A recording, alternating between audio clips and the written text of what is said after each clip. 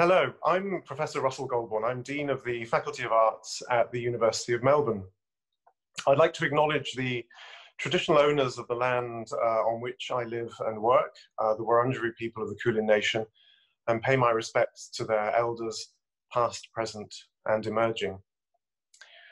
Over these past few months, as we've come to terms with living under uh, COVID 19, I've had a number of conversations with colleagues in my faculty, and those conversations have reminded me just how important the humanities and social sciences are, the extent to which they can help us to understand the challenges that we're facing at the moment. And I'm really keen to share some of the insights uh, from those conversations. So today I've invited my colleague, Associate Professor Leah Ruppanner, uh, to join me uh, to discuss the impact that the pandemic is having on the working lives of women in our society. Leah is an associate professor of sociology in the School of Social and Political Sciences in the Faculty of Arts. She is co-director of the Policy Lab and an expert in family, gender, and public policy. Leah, thank you for joining me. Thank you for having me. It's great to see you. Now, look, I know that much of your research is on women's work and on women's unpaid work in the domestic sphere in particular. I'd be really interested to hear from you what COVID 19 means for women generally and for the future of their working lives. So COVID-19 has laid bare a, a, really a care crisis that has been building for decades. So I have been talking for 15 or 20 years about the fact that women are carrying the unpaid domestic burden, that it's at the expense of their health, it's at the expense of their work lives, it's at the expense of their leisure, that this is really, really an important thing and it's draining on women. What I anticipated happening was that the the care crisis would you know become unmasked or become so unbearable once the baby boomers retired once the fact that you have um, the aging population women absorbing the care of you know parents relatives etc that then we would see that this is unsustainable and the government would have to intervene and help women but what I didn't anticipate was that overnight COVID-19 would, would just illuminate this unequal, the consequences of the unequal distribution of care work. What happened overnight was schools closed, childcare is closed, and all of that unpaid work came into the home. So we anticipated that this was being carried by women and that it would be carried at the expense of their health and well-being. But you know, we're scientists and we want to actually bring some empirics to this. So we collected some data, my, um, the policy lab, along with the US Study Center at University of Sydney, Media and, and Politics at La Trobe University, and we asked a thousand um, Australians and a thousand Americans what was happening with their unpaid work under COVID-19. But what we could see was that men were doing more, yes, men are contributing a larger share, but women are much more likely to say that they're doing much, much more. And if we think about what care looked like before, women were always doing two times the amount of unpaid childcare and housework before the crisis. So if they're taking on even more work under COVID, it means they're doubling that again. Lyn Craig and Brendan Churchill and our sociology group have collected time use data. They're finding that actually that's true, that unpaid work is again doubling and women are doing larger share. We also asked what was happening for people's health. And we found that women are reporting that they can't sleep, their sleep is more restless, they very rarely feel calm and they're feeling more anxious under this. So they're taking on that burden at the expense of their health. In addition to that, women are incredibly worried about their economic futures. They're worried they're not going to have enough money to retirement on, to retire on.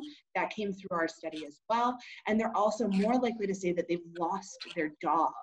And the challenge is, is that as this care crisis continues, as the effects of COVID turn into an economic recession, right? That women's jobs are going to be slow to recover because they're disproportionately in, you know, things like tourism and the service industry. I'm not talking about the nurses, right? But but it took a care crisis to say, you know, these nurses actually need childcare because their work is valuable. That's pretty outrageous. But I'm talking about these industries that are going to take a long time to recover. And so, as women look forward, I don't see a rosy picture. I think that if governments are developing lifelines, because this is a moment where they're going to start throwing lifelines out to stimulate the economy. We need to value care work and we need to throw lifelines not just to manufacturing, not just to kind of these construction, but we need to throw them to these jobs that women are disproportionately in. We need to give them access to resources to reskill because that's what they're going to need to do. And all of that means that their care work needs to be valued and needs to be supported. So, as you say, it raises really important uh, policy questions that uh, I hope we'll have time to come back to in, in, a moment. But the other thing that really strikes me in what you're saying is just the extent to which this uh, pandemic has has highlighted and and exacerbated existing or pre-existing uh, inequalities and and problems that were kind of bubbling up as you were saying that that care crisis that was was building up and has really brought this to to a head. Um, I'm really interested to hear in particular about that, the, the data that you found, and perhaps say a little bit more about um, that the survey that you did, and in particular, if there are, I know you said you were um, getting respondents both from the, the States and Australia. Um, I wonder if there are particular trends coming through that data um, about Australia specifically, or, or are you finding that the two nations are on similar trajectories in, in this question? So the US and Australia are, of course, always different and they're different in, in very meaningful ways. Some of the work we've been doing through this is around um, trust in media, trust in experts, you know, who are people turning to in these times of crisis? And this is coming through Andrea Carson's work at La Trobe. She's very a media expert, right? And one of the, we got some press. You know, this has been covered in the Age. We've been getting a lot of media coverage on this. And one of the interesting things around that is that um, there is a return to trusted sources. There's a return to experts, which is actually really important for us because we think we're very important, right? but sometimes that gets lost in the hustle and the bustle of what it is to be an academic academic expert. But in times like this, people really do want real, true, and reliable information. One. However, how this is being viewed is through a partisan lens, but only in the US, which is, of course, not, perhaps not surprising. That if you do weaponize your press and say that everything is fake news, when you have a moment of crisis, that people actually don't trust, you know, that we're finding the Republicans are less likely to trust the news they're not turning to reliable sources. One of the interesting things we asked too, on, on, more kind of my area of research, we asked people how much support do they have for free universal childcare for everyone? And the reason we asked this question is because for the first time in, in Australian history, right, the government extended free childcare to everyone. You know, they they they subsidized it, they paid for it. And the US, like the UK, like Australia, um, tends to only give this type of benefit to those in greatest need. It's this kind of um, liberal welfare state, right? That is the approach, which is very, very different from a country like Sweden. So I was interested in wh- what's happening to that. The minute you throw everyone into the home and you show that childcare is not just this kind of um, luxury, childcare is not a luxury for families, it actually is a necessity for mothers to work. Do people shift in their attitudes? And one of the interesting things we found was that actually, if you look amongst, and we're interested in the partisan divides, right? Because this often gets framed around, you know, a quote unquote liberal agenda versus a conservative agenda, which is very interesting because we don't necessarily talk about public schools in the same way. But childcare centers function much like a public school.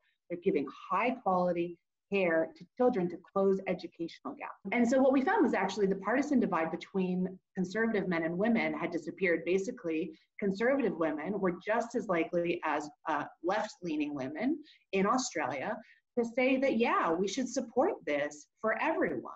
But when we looked across the entire sample of Australians, we didn't see strong hostility. Only 25% men, women, everyone disagreed with this idea, which when you think about it, this is quite radical, right? We're saying we should give it to all Australian citizens. The only other thing I want to say on this point is for Australia in particular, that you know, there's kind of this argument that, well, you know, if we give people childcare, it's just a windfall to the rich families. Grattan Institute produced a report in which they showed that actually the way in which the tax structure is in Australia it decentivized those at the higher ends of the tax income from, from working five days a week, basically, because the childcare costs and the tax structure is such that you end up paying more money than you actually get back. So as we think about ways to throw lifelines to families, one argument is keep this childcare thing. Make sure that the childcare workers are paid appropriately, but but actually have the government absorb this. This is important because it's going to allow mothers to look for new jobs, to reskill into new industries. We're doing some work on AI, what AI means for the future of women in work, and I would not be surprised if this gets accelerated under the pandemic. And so women are going to need, you know, new skills to be able to fit into the new workforce that may happen more quickly but also even if people get you know have additional money they're going to put it back into the economy so you're looking for ways to stimulate spending giving parents childcare is a double whammy and it's effective in terms of cost. They're going to probably work you're going to put money back into the economy so you're going to get taxes in those two ways. And if the care is assumed then you are able to um, then women are able to engage in reskilling in ways that they couldn't if their kids were home with them all day long, all day long.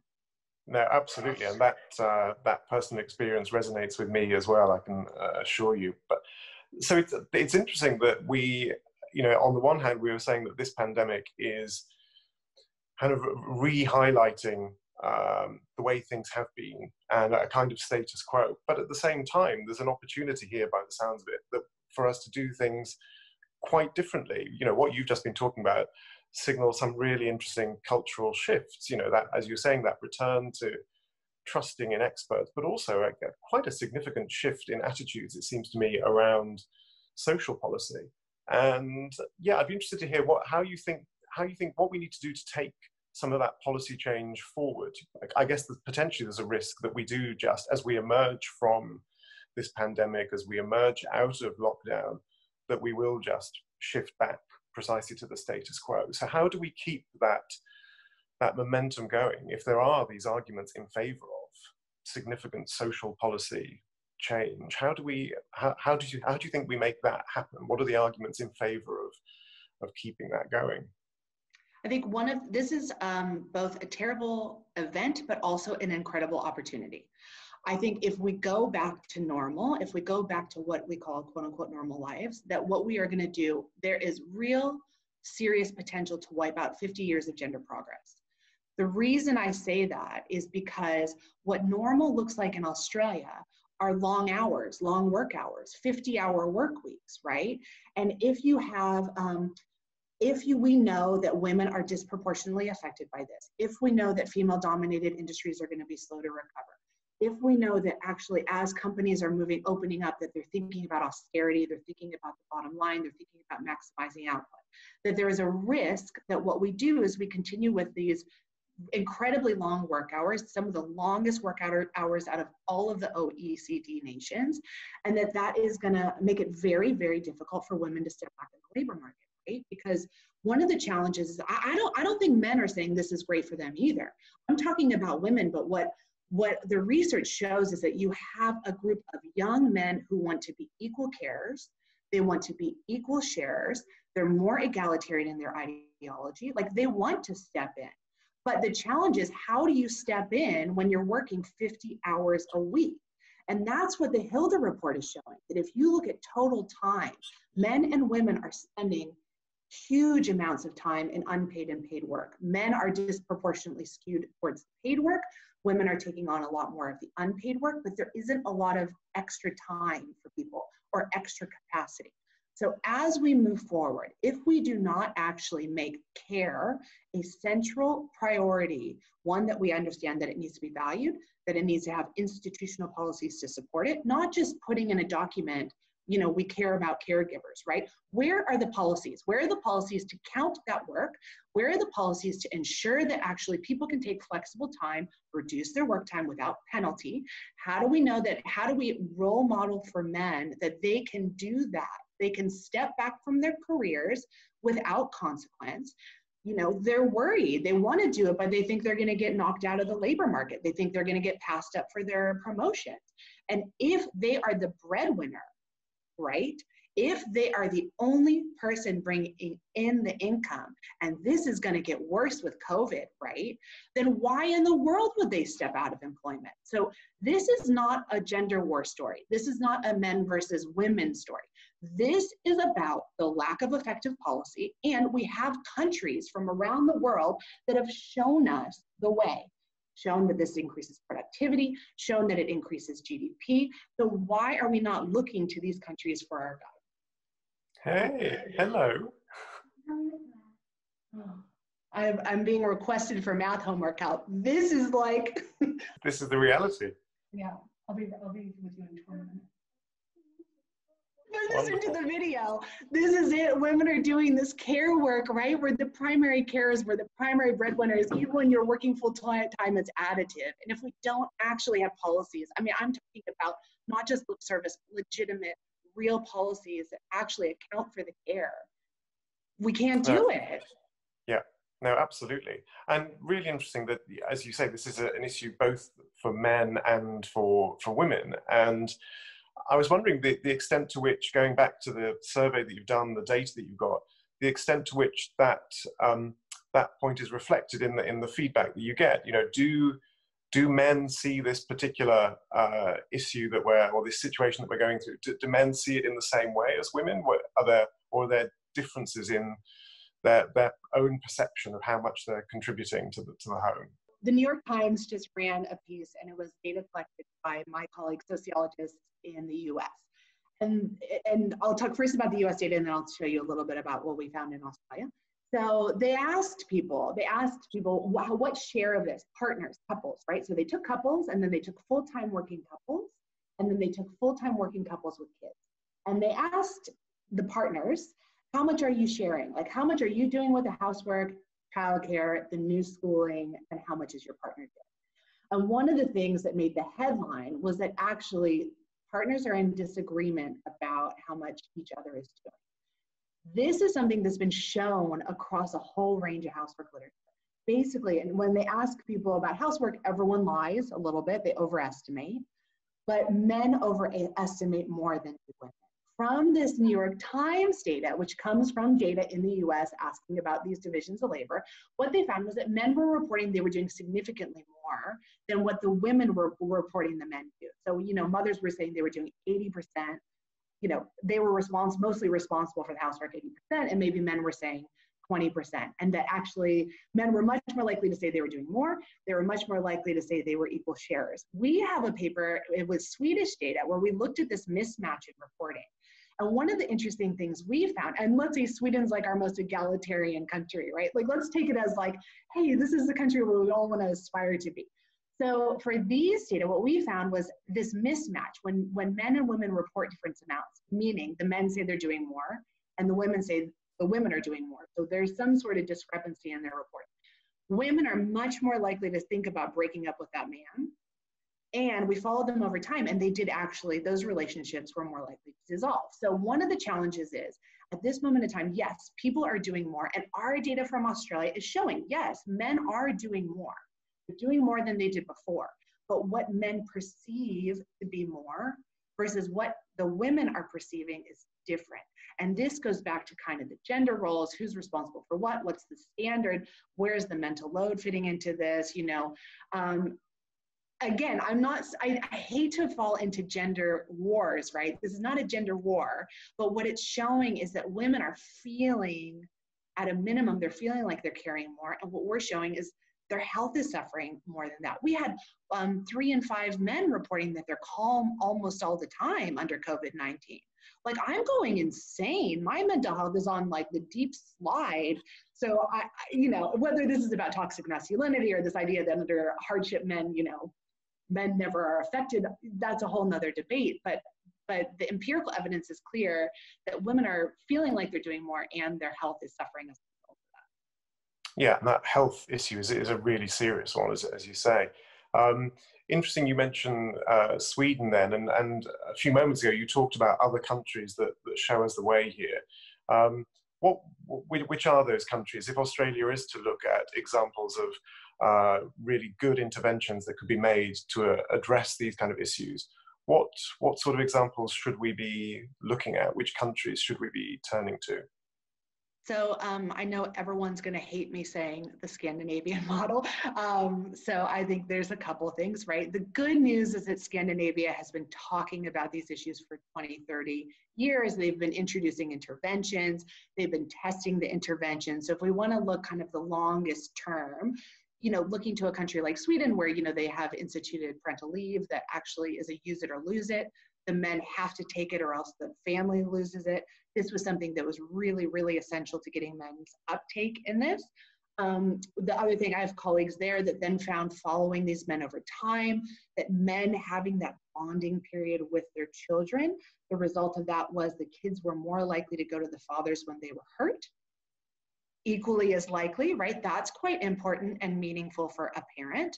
And that also men did more housework over the long term, following them over time. That maybe that reset within the home helped kind of identify the true volume of the work. Um, well, there is an argument that COVID 19 might do the same in that people can, men are now seeing uh, the huge amount of work that's happening. This has been featured in The Age with some of our researchers here. Also, Lyn Craig and Brendan Churchill got featured in their work around these kinds of arguments. But if people hate the idea of Scandinavia, I know it's like a bit hard to be always told, like, all we have to do is just be Scandinavia. Then let me give another country. Can we just be like New Zealand? Because actually, their prime minister is coming out now and saying, why don't we take this exactly like you said earlier? Why don't we take this as an opportunity to restock? Why don't we look into a four day work week? And the reason she's saying that is not only because it's better for productivity, it's better for kind of connection to your your business, but it also is better for equalizing gender relations within the home. So if we don't want to be Sweden because we're sick of being told that we have to be a Nordic country, could we please just try to be a bit more like New Zealand? It sounds like a good model to me. So, so perhaps, and this might be a way for us to wrap up. What if we were to have this conversation in 12 months' time and think, well, you know, have we have we followed those examples? Have we done the kind of things that we we should have done? What will be the real signs that we have actually used this as an opportunity to address some really serious social and, and, and public health issues? What will you be looking out for? Um, I would, there are a couple things. One, I, I would be on like the top of my list would be to keep the childcare credit because it's already been done. Don't strip it away, right? That's number one. Um, number two is that I want care to be brought back from kind of from the recesses in which it was, right? Like kind of an afterthought of like, oh yeah, people, we know people are doing that. And oh yeah, that must be, oh yeah, that must be hard to actually bringing it forward and, and treating it like a public health crisis, a public health issue.